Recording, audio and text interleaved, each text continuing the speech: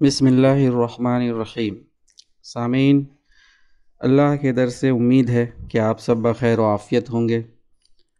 आदाब ज़िंदगी का ये जो सिलसिला चल रहा है, उसका आज नौवा बाब इन पढ़ा जाएगा। उम्मीद करता हूँ कि आपको ये पसंद आ रहा होगा और इससे आपकी ज़िंदगी में काफ़ी मुस्बत तब्दीली भी आ रही होगी। दुआ है अल्लाह ताला से कि इसका अजर आपको भी मिले और हमें भी अल्लाह ताला अता करे। आप अपनी दुआओं में हमें याद रखिए। और मज़ीद आप एक नेकी और कमा सकते हैं। अगर आप इस वीडियो को या इस तरह के किताब वाली ऑडियो को आप शेयर करें ताकि दूसरे भी इससे फ़ायदा उठा सकें। आप अपने अज़ा अकारीब अपने दोस्त, अहबाब के साथ ये शेयर करें ताकि उन्हें भी इसके फ़ायदे हासिल हो और दुनिया व आखरत दोनों में वो कामयाब हों। तो चलिए आगे बढ़ते हैं। खौफ व हरास के आदाब। नंबर एक। आदाए दीन की कत्ल गारतगिरी जुल्म बरबरीत और फितना व फसाद की हैबत हो या कुदरती अजाबों की तबाह कारियों का खौफ हो।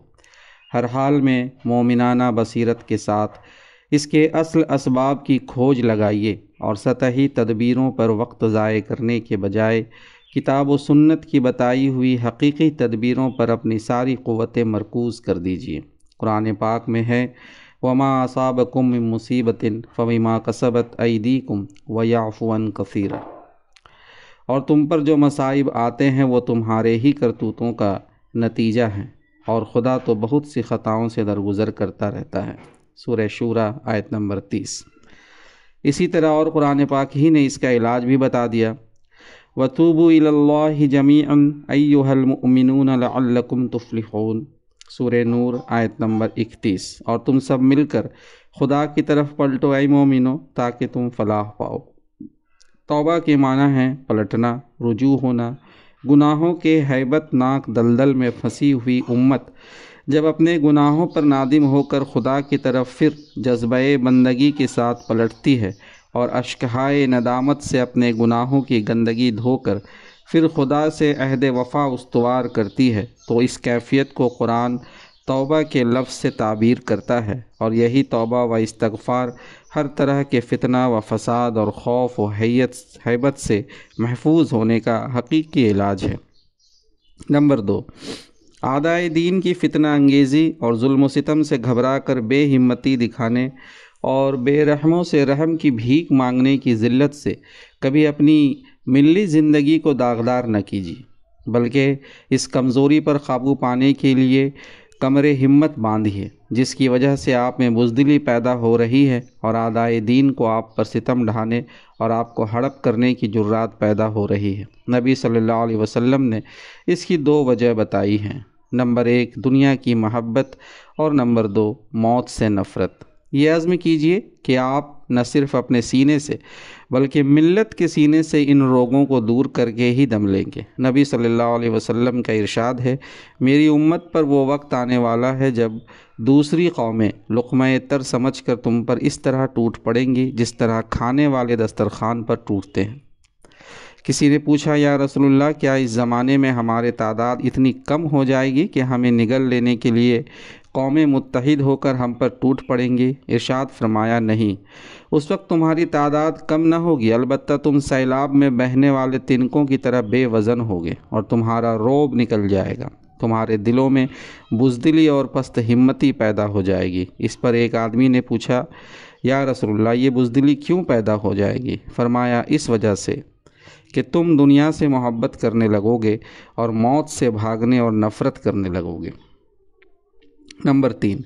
नफ्स परस्ती अयाशी औरतों की सरबराही और मासी से अपने माशरे को पाक कीजिए और अपनी इजतमाहीत को मज़बूत से मज़बूत तर बनाकर इजतमाही क़वत के ज़रिए फितना व फसाद को मिटाने और मिलत में शुजात, ज़िंदगी और हौसला पैदा करने की कोशिश कीजिए।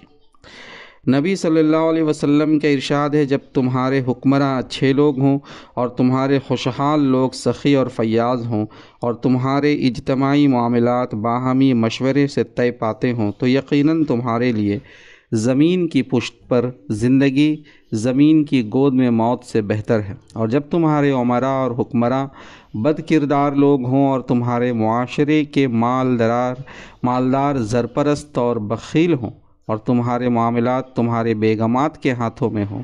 तो फिर तुम्हारे लिए ज़मीन की गोद, यानी मौत, ज़मीन की पुश्त, यानी ज़िंदगी से कहीं बेहतर है। नंबर चार, हालात कैसे भी लर्जा खेज़ हों, हक़ हिमायत में कभी कोताही न कीजिए। हक़ की हिमायत में जान दे देना इससे कहीं बेहतर है कि आदमी बेदीनी और बेगैरती की ज़िंदगी गुजारे। सख्त से सख्त आजमाइश और शद, आजमाइश और शदीद से शदीद खौफ की हालत में भी हक़ का दामन हरगिज़ न छोड़िए। कोई मौत से डराए तो मुस्कुरा दीजिए और शहादत का मौका आए तो शौक़ व जज्बे के साथ इसका इस्तकबाल कीजिए। नबी सल्लल्लाहु अलैहि वसल्लम फरमाते हैं, इस्लाम की चक्की गर्दिश में है, तू जिधर कुरान का रुख हो, उसी तरफ़ तुम भी घूम जाओ। होशियार रहो, कुरान और इख्तदार अनकरीब अलग अलग हो जाएँगे। ख़बरदार तुम कुरान को न छोड़ना। आइंदा ऐसे हुक्मरान होंगे जो तुम्हारे बारे में फ़ैसला करेंगे। अगर तुम उनके एतात करोगे तो वो तुम्हें सीधी राह से भटका देंगे और तुम उनके नाफरमानी करोगे तो वो तुम्हें मौत के घाट उतार देंगे। सहाबी ने कहा तो फिर हम क्या करें? या रसोल्ला अलैहि वसल्लम, फरमाया, वही करो जो ईसा के साथियों ने किया। वो लोग आरों से चीरे गए, सूलियों पर लटकाए गए, खुदा की नाफरमानी में ज़िंदा रहने से बदर जहाँ बेहतर है कि आदमी खुदा के अहकाम की पैरवी करते हुए जान दे दे। नंबर पाँच। उन इजतमाही अमराज के ख़िलाफ़ बराबर जिहाद करते रहिए, जिनके नतीजे में सोसाइटी पर खौफ व दहशत की घटाएँ छा जाती हैं। अफलास कहत खून रेजी आम हो जाती है और दुश्मनों के ालिमाना तसलुत में कौम बेबस होकर रह जाती है। हज़रत अब्दुल्ला बिन अब्बास रज़ी अल्लाह फरमाते हैं, जिस कौम में ख़यानत का बाज़ार गर्म हो जाएगा, खुदा उस कौम के दिलों में दुश्मन का खौफ और दहशत बिठा देगा और जिस माशरे में जना की वबा आम हो जाएगी, वो फना के घाट उतर रहेगा। जिस सोसाइटी में नाप तौल में बदयानती का रिवाज हो जाएगा, वो ज़रूर फाक़े की शिकार होगी और जहाँ नाहक फ़ैसले होंगे, वहाँ लाजमन खूनरेज़ी आम होगी। जो कौम भी बदहदी करेगी, उस पर बहरहाल दुश्मन का तसल्लुत होकर रहेगा। नंबर छः जब दुश्मनों की तरफ़ से खौफ लाक हो तो ये दुआ पढ़िए, अल्लाहुम्मा इन्ना नज अलुकफ़ी नहूरहिम व नऊज़ुबिका में शुरूरहिम। खुदाया, हम उन दुश्मनों के मुकाबले में तुझे ही अपनी सिपर बनाते हैं और इनके शर व फसाद से बचने के लिए तेरी पे पनाह लेते हैं। नंबर सात और जब दुश्मन के नरगे में फंसे हुए हों तो ये दुआ पढ़े अल्लाह मस्तुर औरातिना व आमिन व रव व आमिन रव आतिना खुदाया तो हमारी इज़्ज़त व आबरू की हिफाजत फरमा और खौफ हरास से अमन अता फरमा। नंबर आठ, जब आंधी या घटा उठती देखें तो घबराहट और खौफ महसूस कीजिए। आयशा रज़ी अल्लाह फरमाती हैं कि मैंने नबी सल्लल्लाहु अलैहि वसल्लम को इस तरह कह कहा लगाते नहीं देखा कि आपका पूरा मुँह खुल जाए। आप सिर्फ़ मुस्कुराते थे और जब कभी आंधी या घटा आती तो आप घबरा जाते और दुआ करने लगते। खौफ की वजह से कभी उठते कभी बैठते और जब तक पानी ना बरस जाता तो आप सल्लल्लाहु अलैहि वसल्लम की यही हालत रहती। मैंने पूछा या रसोल्ला मैं लोगों को देखती हूँ कि जब वो बद, बदली देखते हैं तो खुश होते हैं कि पानी बरसेगा और आपको देखती हूँ कि जब आप बदली देखते हैं तो आप सल्लल्लाहु अलैहि वसल्लम के चेहरे पर गिरानी और परेशानी दिखाई देने लगती है। तो नबी सल्लल्लाहु अलैहि वसल्लम ने फरमाया, आयशा, आखिर मैं कैसे बेखौफ हो जाऊँ कि इस बदली में अजाब न होगा, जबकि कौम आद पर आंधी का अजाब आ चुका है? कौम आद ने जब इस बदली को देखा था तो कहा था कि ये बदली हम पर पानी बरसाएगी। और ये दुआ पढ़िए अल्लाहुम्मज अलहा रियाहन वला तज अलहा रीहन अल्लाहुम्मज अलहा रहमतन वला तज अलहा अजाबा। खुदाया तो इसको खैर की हवा बना दे, शर की हवा ना बना। खुदा तो इसको रहमत बना दे, अजाब ना बना। और अगर आंधी के साथ सख्त अंधेरा भी हो तो कुल अऊज़ुबी रब्बिल फ़लक और कुल अऊज़ुबी रब्बिन नास भी पढ़िए।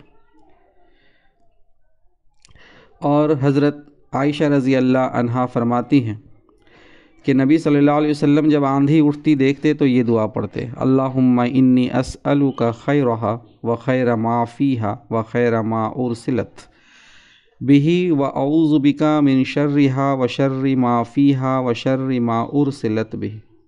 खुदाया, मैं तुझसे इस आंधी की खैर और जो इसमें है उसकी खैर चाहता हूँ और जिस गर्ज़ के लिए ये भेजी गई है, उसकी खैर चाहता हूँ। और इस आंधी के शर से और जो इसमें है उसके शर से और जिस गर्ज़ के लिए ये भेजी गई है उसके शर से तेरी पनाह चाहता हूँ। नंबर नौ, जब बारिश की ज़्यादती से तबाही का अंदेशा हो तो ये दुआ पढ़िए। अल्लाहुम्मा हवा लईना ला अलैना, अल्लाहुम्मा अलल आकामी व ज़ुराबी व बतून अवदियती व बनाबिती व मनाबित शजर। खुदाया हमारे आसपास, बरसे हमारे ऊपर न बरसे। खुदाया पहाड़ियों पर, टीलों पर, वादियों पर और खेत और दरख्त उगने के मकाम पर बरसे। नंबर दस, जब बादलों की गरज और बिजली की कड़क सुने तो बातचीत बंद करके कुरान पाक की ये आयत पढ़ना शुरू कर दीजिए। वयुसब हमदी वलमलाइकतु मिन खीफती और बादलों की गरज खुदा की हमद के साथ उसकी तस्बीह करती है और फरिश्ते भी उसके खौफ से लरसते हुए पाकी और बरतरी बयान करते हैं। सूर रात, आयत नंबर तेरह। हज़रत अब्दुल्ला बिन ज़ुबैर रज़ी अल्लाह जब बादलों की गरज सुनते तो गुफ्तगु बंद कर देते और यही आयत पढ़ने लगते। हज़रत काब रज़ी अल्लाह फरमाते हैं कि जो शख्स गरज के वक्त तीन मरतबा इस आयत को पढ़ ले, वो गरज की आफत से आफियत में रहेगा। नबी सल्लल्लाहु अलैहि वसल्लम ने जब बादलों की गरज और बिजली की कड़क सुनते तो ये दुआ पढ़ते, अल्लाहुम्मा ला तख्तुलना बिबादिका वला तुहलिकना बि अजाबिका, व आफिना कबल ज़ालिक। खुदाया, हमें अपने गज़ब से हलाक न कर, अपने अजाब से हमें तबाह न कर, और ऐसा वक्त आने से पहले ही हमें अपने दामन आफियत में ले ले। नंबर ग्यारह, जब आग लग जाए तो इसको बुझाने की भरपूर कोशिश के साथ साथ अल्लाह अकबर भी कहते जाइए। नबी सल्लल्लाहु अलैहि वसल्लम के इरशाद है, जब आग लगती देखो तो अल्लाह अकबर कहो, तकबीर आग को बुझा देती। नंबर बारह खौफ और दहशत के गलबे में ये दुआ पढ़िए, खुदा ने चाहा तो दहशत दूर होगी और इत्मीनान नसीब होगा। हज़रत बरा बिन आज़िब रज़ी अल्लाह कहते हैं कि एक शख्स ने नबी सल्लल्लाहु अलैहि वसल्लम वसल्लम से शिकायत की कि मुझ पर दहशत तारी रहती है। आपने फरमाया, ये दुआ पढ़ा करो। इसने इस दुआ का विरद किया। खुदा ने उसके दिल से दहशत दूर फरमा दी। सुबहान अल्लामलिकदूसी रब्बलमलाइकती वरूही जल्लल जल्लल तस्समावाति वल अर्द बिल इज़्ज़ती पाक बरतर है अल्लाह। बादशाह हकीकी ऐबों से पाक फ़रिश्तों और जब्राइल के परवरदिगार। तेरा ही इक़्तदार और दबदबा आसमानों और ज़मीन पर छाया हुआ है। तो सामीन, ये थे खौफ व हरास के आदाब।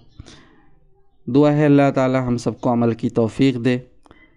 और उम्मीद करता हूँ कि आप अपनी दुआओं में हमें याद रखते हैं। अगर किसी तरह की इसमें इम्प्रूवमेंट चाहिए, कोई कमी आपको नज़र आ रही हो तो बर मेहरबानी।